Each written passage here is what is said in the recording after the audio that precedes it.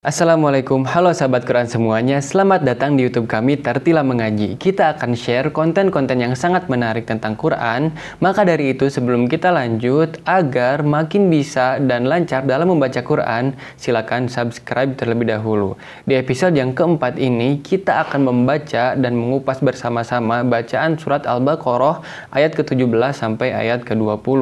Di akhir akan ada kuisnya untuk melatih pemahaman sobat semuanya. Maka dari itu, agar kuisnya benar semua, harus tonton video ini sampai selesai. Sekarang mari kita baca bersama-sama mulai dari ta'awud dan basmalah. A'udzu billahi minasyaitonir rajim.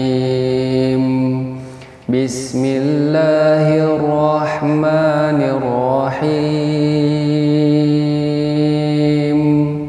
Mathaluhum kamathalil ladzi استوقد نارا فلما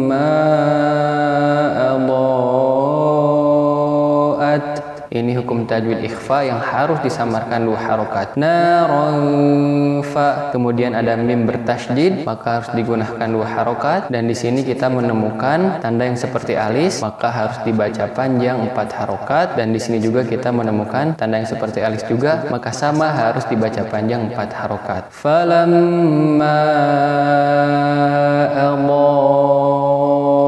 Ad cara menghitungnya bisa dengan jari. Ad kita baca dari awal kembali. Mathaluhum kamathalil ladzi istawqada naran falamma adaat falamma adaat ma hawlahu dhahaballahu di sini kita menemukan lafaz Allah dan sebelumnya ada harokat fathah, maka lafaz Allahnya ini dibaca Allah. Zahaballahu zahaballahu binurihim wa tarakahum fi zulumatin la yubsirun.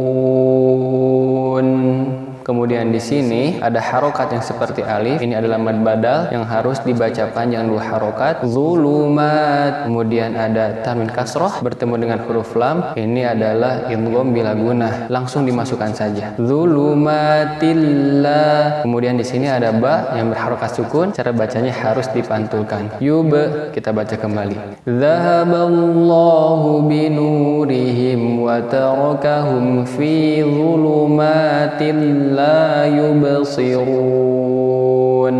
صم بكم عمي فهم لا يرجعون. Kemudian di sini ada mim bertasydid harus digunakan dua harokat dan berharokat tanwin domah bertemu dengan huruf ba harus langsung diidghamkan. Summum Kemudian di sini ada tanwin dhamma bertemu dengan huruf fa harus disamarkan dua harokat. Umyun.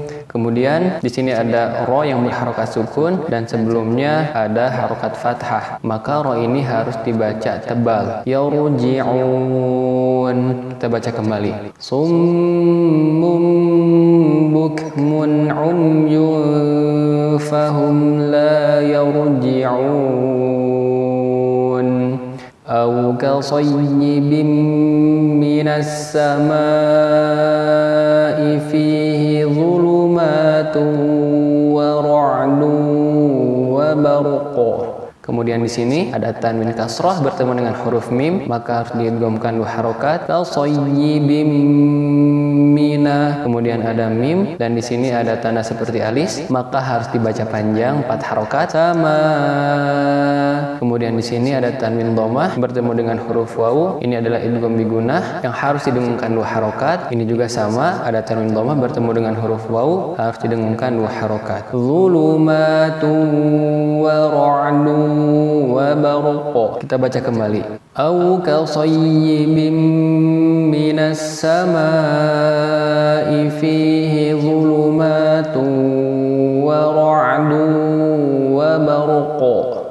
يجعلون أصابعهم في آذانهم من الصواعق kita lihat di sini ada jim yang berharokat sukun, maka harus dipantulkan yaj. Kemudian huruf so ini ada seperti alif, ini mad badal yang harus dipanjangkan dua harokat. So, kemudian huruf fa ada tanda alis, maka dibaca panjang empat harokat. Kemudian mim sukun bertemu dengan mim digunakan dua harokat. Adhanihim kita baca kembali.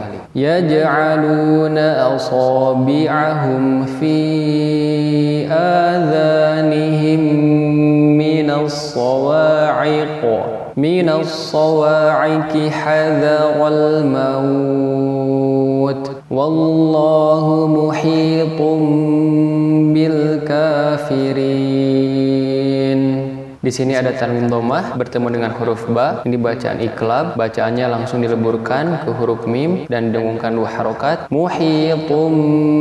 Baca kembali. Wallahu muhitum bil kafirin. Yakadul barqu yakhtafu absarahum di sini huruf sodnya ada seperti alif, maka ini mad badal yang harus dibaca panjang dua harokat. Absarihim. Kita baca kembali. Yakadul barqu yakhtafu absarahum kullama adha'a lahum masyaw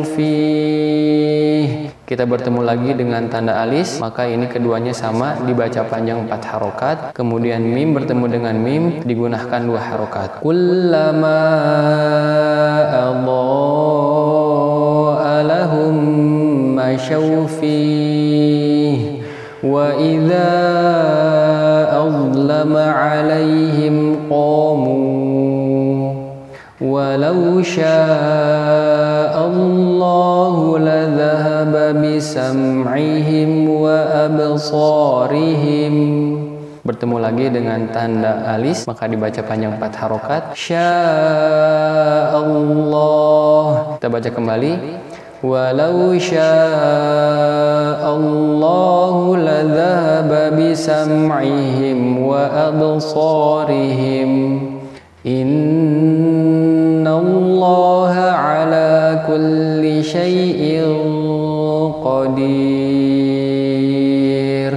kemudian ada nun bertasjid maka digunakan dua harokat. Kemudian ada mad badal dibaca panjang dua harokat. Ala di sini ada tarwid kasroh bertemu dengan huruf kof maka ini adalah hukum tajwid ikhfa yang harus disamarkan dua harokat. Innallaha ala kulli syai'in qadir Alhamdulillah kita telah membaca bersama-sama surat Al-Baqarah ayat ke-17 sampai ayat yang ke-20. Mudah-mudahan jadi pahala untuk kita semua. Amin ya robbal alamin. Untuk berikutnya akan ada kuis untuk melatih pemahaman sobat semuanya. Caranya seperti apa?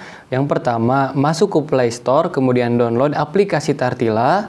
Kemudian yang kedua, masuk ke menu kuis.